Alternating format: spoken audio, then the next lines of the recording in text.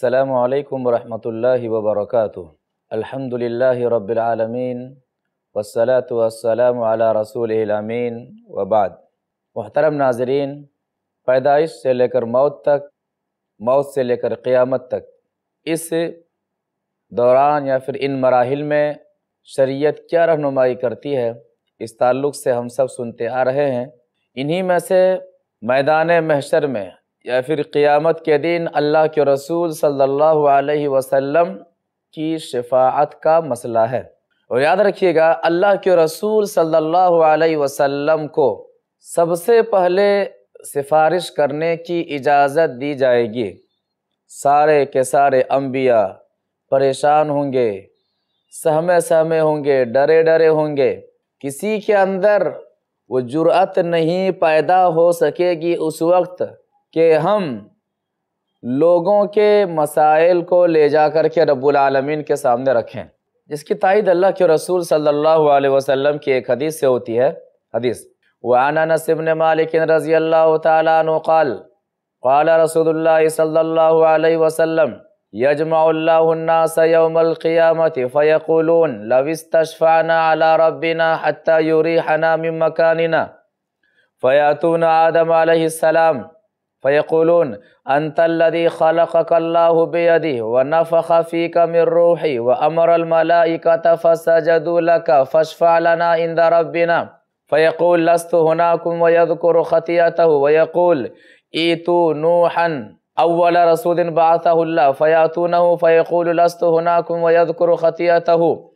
إيتوا إبراهيم عليه السلام الذي اتخذه الله خليلا فيأتونه فيقول لست هناكم ويذكر خطيئته. إيتوا موسى الذي كلمه الله. فيأتونه ويقول لست هناكم ويذكر خطيئته. إيتوا عيسى فيأتونه فيقول لست هناكم. إيتوا محمدا صلى الله عليه وسلم. قد غفر له ما تقدم من ذنبه وما تأخر. فياتوني فاستأذن على ربي فإذا رأيته وقعت ساجدا. فيدعني ما شاء الله ثم يقال ارفع رأسك. وسل توتا وقل يسمع واشفع تشفع. ثم أحمد ربي بتحميد يعلمني. ثم أشفع فيحد لي حدا ثم أخرجهم من النار وأدخلهم الجنة. ثم أعود فاقوا ساجدا في الثالثة أو الرابعة حتى ما بقي في النار إلا من حبسه القرآن، رواه البخاری فی کتاب الرقاق. بخاری شریف کی حدیث ہے، راوی حدیث حضرت انس بن مالک رضی اللہ تعالی عنہ ہیں وہ فرماتے ہیں کہ اللہ کے رسول صلی اللہ علیہ وسلم نے فرمایا، یجمع اللہ الناس یوم القیامہ، لوگ قیامت کے دن جمع ہوں گے۔ پریشان ہوں گے، بے چین ہوں گے، بے قرار ہوں گے، کہیں گے کیوں نہ ہم کسی کو سفارشی بنا لیں کہ وہ رب العالمین کے پاس جا کر کے ہمارے حق میں سفارش کرے۔ سارے کے سارے آدم علیہ السلام کے پاس آئیں گے۔ کہیں گے، انت الذی خلقک اللہ بیدی۔ آپ ہی وہ ہیں جسے اللہ تبارک و تعالیٰ نے اپنے ہاتھ سے پیدا کیا۔ وَنَفَخَ فِيكَ مِن رُوحِ اللہ تبارک و تعالیٰ نے آپ میں اپنی روح پھونکی۔ وَأَمَرَ الْمَلَائِكَةَ فَسَجَدُوا لَكَ فرشتوں کو حکم ملا تو آپ کو سجدہ کیا۔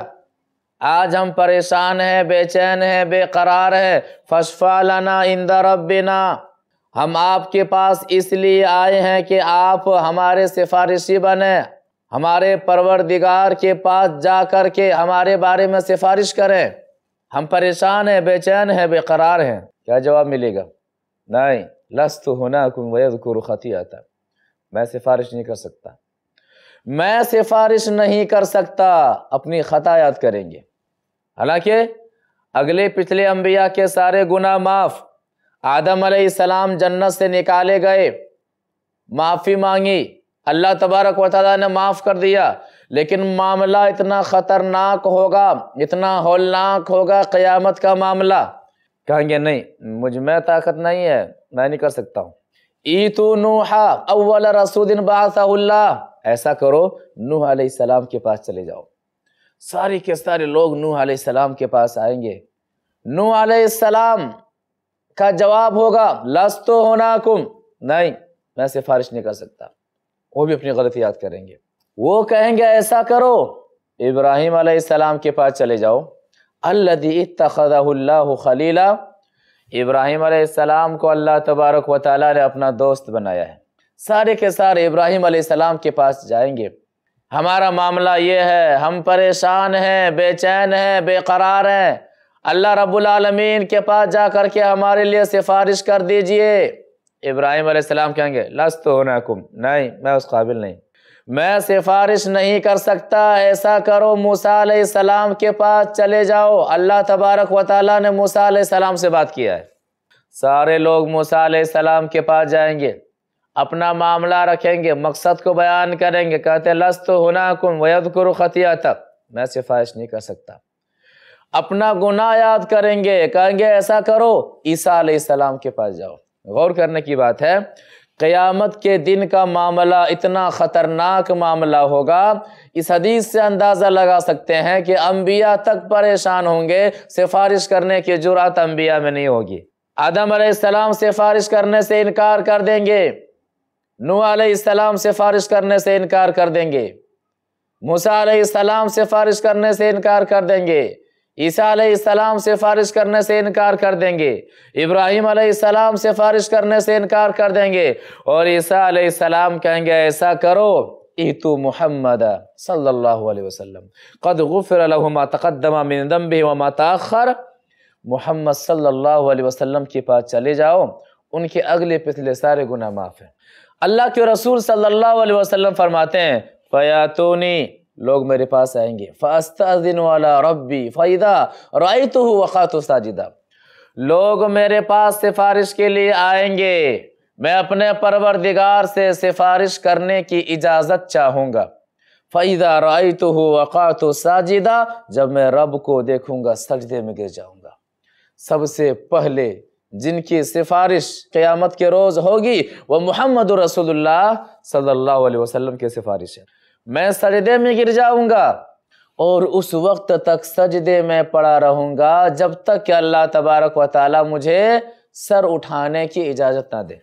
اللہ تبارک و تعالی فرمائے گا ارفراسک سر اٹھا لیجیے۔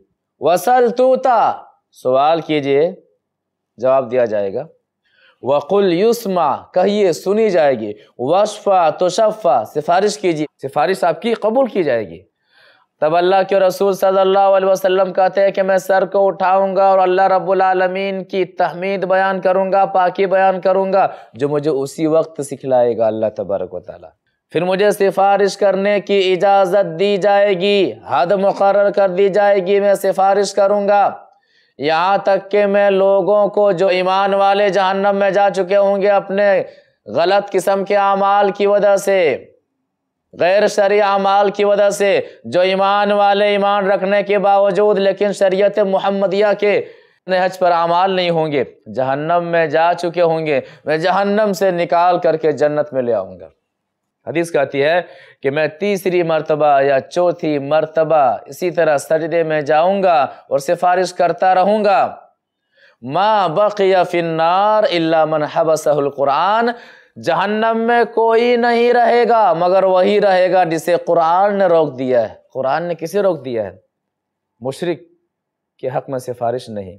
حالت شرک میں موت ہو جاتی ہے، توبہ کیے بغیر تو ہمیشہ کے لیے ٹھکانا جہنم ہے۔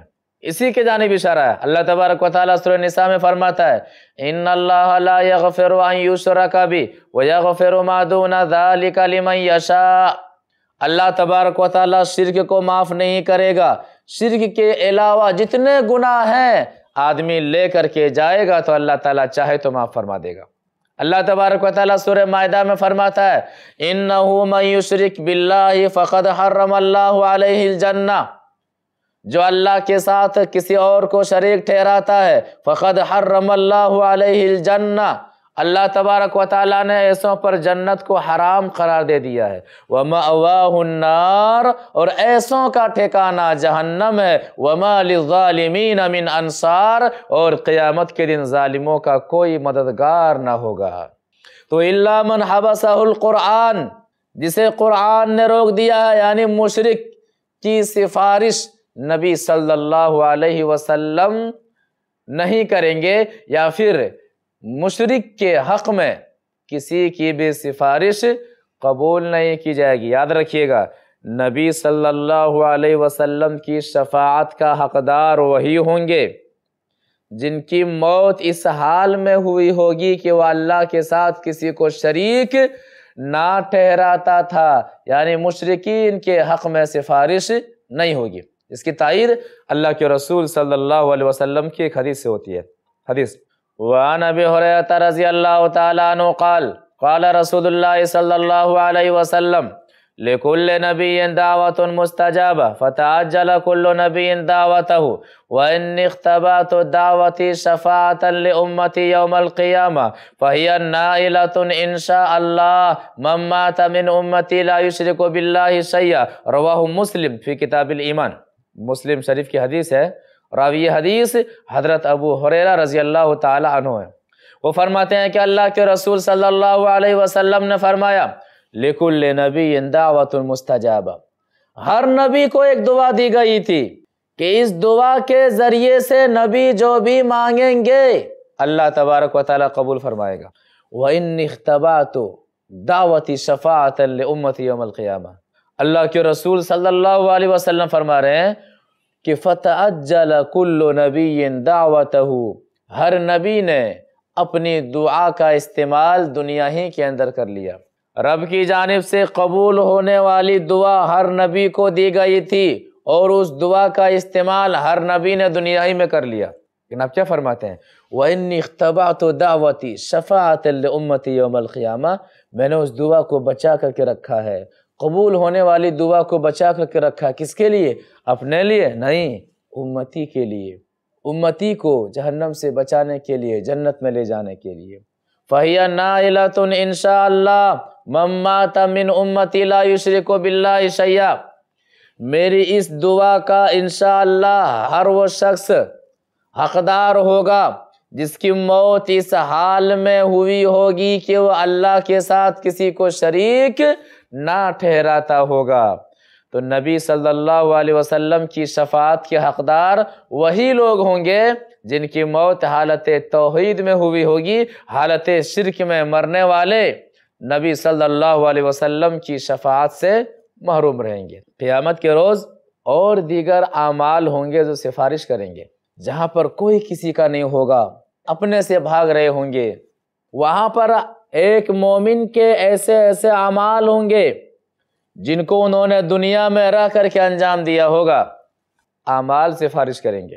جن کی تائید اللہ کے رسول صلی اللہ علیہ وسلم کی چند حدیث سے ہوتی ہے۔ حدیث، وعن ابی حریت رضی اللہ تعالیٰ عنہ قال قال رسول اللہ صلی اللہ علیہ وسلم ان سورة من القرآن ثلاثون آیتا شفاعت لرجل وهي تبارک الذي بيده الملک رواہ ترمیزی فی ابواب الفضائل.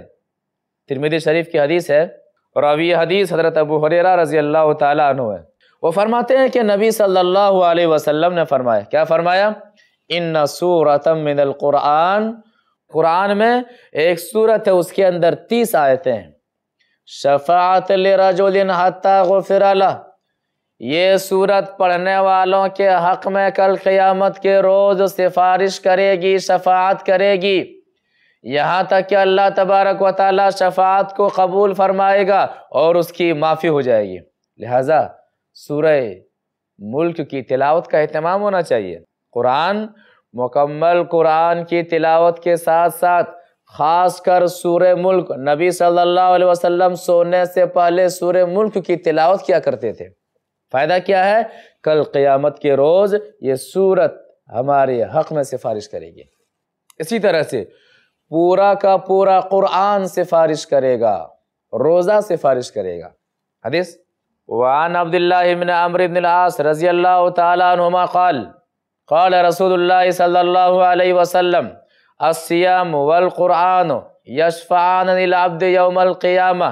یقول السیام اے ربی، منعته الطعام والشہوہ فشفعنی فی ویقول القرآن اے ربی منعته النوم باللیل فشفعنی فی قال فیشفعان رواہ احمد فی مسند مسند احمد کی حدیث ہے راوی حدیث حضرت عبداللہ بن عمر بن عاص رضی اللہ تعالیٰ عنہما ہے وہ فرماتے ہیں کہ اللہ کے رسول صلی اللہ علیہ وسلم نے فرمایا السیام والقرآن یشفعان للعبد یوم القیامہ قیامت کے دن روزہ بھی سفارش کرے گا قرآن بھی سفارش کرے گا روزہ کہے گا، اے ربی، پروردگارا منع تو ہو تعام و شہوا اس بندے کو میں نے دن میں کھانے سے روک دیا تھا، شہوت سے روک دیا تھا۔ کھانا موجود تھا، حلال کھانا موجود تھا، کھاتا نہیں تھا۔ طلوع آفتاب سے لے کر غروب آفتاب تک میں نے کھانے پینے سے روک دیا تھا۔ کیا کہے گا روزہ؟ پروردگارہ، میں نے اس کو کھانے سے روک دیا تھا، پینے سے روک دیا تھا، شہوت کرنے سے روک دیا تھا۔ پروردگارہ، اس کے حق میں تو میری سفارش قبول فرما۔ قرآن کہے گا منا تو نوما باللیل۔ پروردگارہ، یہ رات بھر مجھے پڑھتا تھا۔ رات میں جاگتا تھا، میری تلاوت کرتا تھا۔ جاگنے کا سبب میں تھا۔ فشفینی فی۔ پروردگارہ میری سفارش تو اس کے حق میں قبول فرما۔ اللہ کے رسول صلی اللہ علیہ وسلم فرماتے ہیں فیوشفعان اللہ تبارک و تعالی قرآن کی بھی سفارش قبول فرمائے گا۔ اللہ تبارک و تعالی روزے کی بھی سفارش قبول فرمائے گا۔ کتنا اہم معاملہ ہے سفارش کا۔ کس قدر اہم معاملہ ہے کہ جہاں پر کوئی سفارشی نہیں ہوگا، لوگ اپنوں سے بھاگ رہے ہوں گے، وہاں پر قرآن سفارش کرے گا، وہاں پر روزہ سفارش کرے گا، وہاں پر قرآن کی آیتیں سفارش کریں گی لہٰذا ہمیں چاہیے کہ ہم قرآن کی تلاوت کریں۔ نبی صلی اللہ علیہ وسلم کے طریقے کے مطابق روزہ رکھیں، روزے کا اہتمام کریں، یہ روزہ ہماری حق میں سفارش کریں گے۔ یہ قرآن ہماری حق میں سفارش کریں گے۔ اسی طرح سے رب العالمین کے سامنے اور جو نیکیاں سفارش کریں گے، ان میں سے اذان کے بعد دعا کا اہتمام کرنا۔ حدیث وعن جابر ابن عبداللہ رضی اللہ تعالیٰ عنہ قال قال رسول اللہ صلی اللہ علیہ وسلم، من قال حین يسمع النداء، اللہم رب هذه الدعوة التامة والصلاة القائمة. آت محمدا الوسيلة والفضيلة. وبعث مقاما محمودا الذي وعدته. حلت له شفاعة يوم القيامة. رواه البخاري في كتاب الأذان.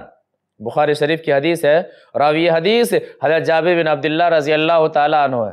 وہ فرماتے ہیں کہ اللہ کے رسول صلی اللہ علیہ وسلم نے فرمایا، جو شخص اذان سننے کے بعد یہ دعا پڑھے اللہم رب هذه الدعوت التامة والصلاة القائمة آت محمدا الوسیلة والفضیلة وبعث مقاما محمودا الذي وعدتا جو اذان کے بعد اس دعا کا اہتمام کرے اذان کے بعد دعا کا اہتمام کرنے کا فائدہ کیا ہوگا؟ نفع کیا ہوگا؟ اللہ کے رسول صلی اللہ علیہ وسلم فرما رہے ہیں، حلت لہو شفاعتی یوم القیامہ۔ قیامت کے دن میری شفاعت اس کے لیے حلال ہو جائے گی۔ یعنی اذان کے بعد کی دعا کا اہتمام کرنے والوں کے حق میں میں کل قیامت کے روز سفارش کروں گا۔ ہمیں بھی اذان کے بعد کی دعا کا اہتمام کرنا چاہیے۔ لوگ یوں ہی باتوں میں وقت کو گزار دیتے ہیں۔ دعا کا اہتمام نہیں ہوتا ہے، معمولی سمجھتے ہیں۔ میرے بھائیوں اذان کے بعد کی دعا کا اہتمام کرنا اتنی فضیلت ہے کہ نبی صلی اللہ علیہ وسلم فرما رہے ہیں کہ میری شفاعت اس کے لیے حلال ہو جائے گی۔ اسی طرح سے صبح کے وقت دس مرتبہ اور شام کے وقت دس مرتبہ درود کا اہتمام کرنا۔ کیا ہم کرتے ہیں؟ درود، صبح دس مرتبہ، شام دس مرتبہ۔ فائدہ کیا ہوگا؟ صبح کے وقت دس مرتبہ درود کا اہتمام کرنے والا، شام کے وقت دس مرتبہ درود کا اہتمام کرنے والا ایسا شخص نبی صلی اللہ علیہ وسلم کی شفاعت کا اقدار ہوگا۔ وعن ابی دردہ رضی اللہ تعالیٰ عنہ قال قال رسول اللہ صلی اللہ علیہ وسلم، من صلی حین یسبح عشرہ و حین یمسی عشرہ ادرکت شفاعتی یوم القیامہ. رواہ تبرانی فی الموجم۔ تبرانی شریف کی حدیث ہے۔ راوی حدیث حضرت ابو دردہ رضی اللہ تعالی عنہ ہے۔ وہ فرماتے ہیں کہ اللہ کے رسول صلی اللہ علیہ وسلم نے فرمایا، جو صبح کے وقت دس مرتبہ مجھ پر درود پڑھے اور جو شام کے وقت دس مرتبہ مجھ پر درود پڑھے یہ کام زیادہ مشکل نہیں ہے، بس ارادہ ہونا چاہیے، عزم ہونا چاہیے۔ درود پڑھنا، نبی صلی اللہ علیہ وسلم فرما رہے ہیں، جو صبح کے وقت دس مرتبہ مجھ پر درود پڑھے اور شام کے وقت دس مرتبہ مجھ پر درود پڑھے اس کا فائدہ کیا ہوگا؟ ادرکت ہو شفاعتی یوم القیامہ، قیامت کے روز میں ایسوں کے حق میں سفارش کروں گا۔ کتنا اہم معاملہ ہے کہ جہاں پر اللہ کے رسول صلی اللہ علیہ وسلم سفارش کریں گے، وہیں پر ایسے اعمال سفارش کریں گے جو اعمال نبی صلی اللہ علیہ وسلم سے ثابت ہوں اور جو شخص ان اعمال کی پابندی کرتے ہیں، بڑے خوش نصیب ہیں۔ کہ اعمال انشاءاللہ ایسے لوگوں کے اعمال کل قیامت کے روز سفارش کریں گے کہ پروردگارہ مجھے پڑھا کرتا تھا۔ اسی طرح سے خاص کر قرآن کی صورتوں میں سے سور بقرہ اور سور آل عمران کی تلاوت کرنا بڑی اہمیت کی حامل ہے۔ اس کی تائید اللہ کے رسول صلی اللہ علیہ وسلم کی حدیث سے ہوتی ہے اقراء القرآن فَإِنَّ يَعْتِ شَفِيًا یوم القیامت لِأَصْحَابِ اقراء الزہراوین البقرة وآل عمران فَإِنَّهُمَا يَاتِيَانِ يَوْمَ الْقِيَامَةِ كَأَنَّهُمَا غَمَامَتَانِ أَوْ كَأَنَّهُمَا غَيَايَتَانِ أَوْ كَأَنَّهُمَا فِرْقَانِ مِنْ طَيْرٍ صَوَافٍ تُحَاجَّانِ عَنْ أَصْحَابِهِمَا اقرأوا سورة البقرة فإن أخذها بركة وتركها حسرة ولا يستطيعها البطل رواه المسلم في كتاب الفضائل۔ مسلم شریف کی حدیث ہے اور اب یہ حدیث حضرت ابو امامہ رضی اللہ تعالیٰ عنہ ہے۔ وہ فرماتے ہیں کہ اللہ کے رسول صلی اللہ علیہ وسلم نے فرمایا، قرآن پڑھو، قرآن کی تلاوت کرو۔ خاص کر کے سور بقرہ کی تلاوت کرو سور عال عمران کی تلاوت کرو۔ یہ سور بقرہ اور سور عال عمران کل قیامت کے روز، یہ دونوں صورتیں بادلوں کی شکل میں آئیں گی۔ یا تو پھر جس طرح سے پرندوں کا جھنڈ ہوتا ہے، تو دو جھنڈ کی شکل میں یہ دونوں صورتیں سایہ دیتے ہوئے آئیں گی۔ اس کے بعد اللہ کے رسول صلی اللہ علیہ وسلم فرما رہے ہیں کہ سور بقرہ کی خاص کر تلاوت کرو۔ کیوں؟ سور بقرہ کا پڑھنا برکت ہے۔ سور بقرہ کی تلاوت چھوڑ دینا حسرت ہے۔ اور جس گھر میں سور بقرہ کی تلاوت ہوتی ہے، جادوگر کا جادو وہاں پر نہیں چلتا ہے۔ کس قدر اہم معاملہ ہے کہ اللہ کے رسول صلی اللہ علیہ وسلم فرما رہے ان صورتوں کی تلاوت کرو۔ ایسا کرو گے تو یہ صورتیں سایہ دیں گی کل قیامت کے روز۔ یہ صورتیں میدان محشر کی گرمی سے بچائے گی۔ لہٰذا ہمیں بھی میدان محشر کے دن کامیاب ہونے کے لیے اور سفارش کا حقدار ہونے کے لیے ان جیسی صورتوں کا اہتمام کرنا چاہیے۔ محترم ناظرین، اب وقت ہوا نشست کے اختتام کا۔ اگلی نشست میں ہم پھر لوٹیں گے انشاءاللہ اسی موضوع کے ساتھ۔ تب تک کے لیے دیجیے اجازت۔ السلام علیکم ورحمۃ اللہ وبرکاتہ۔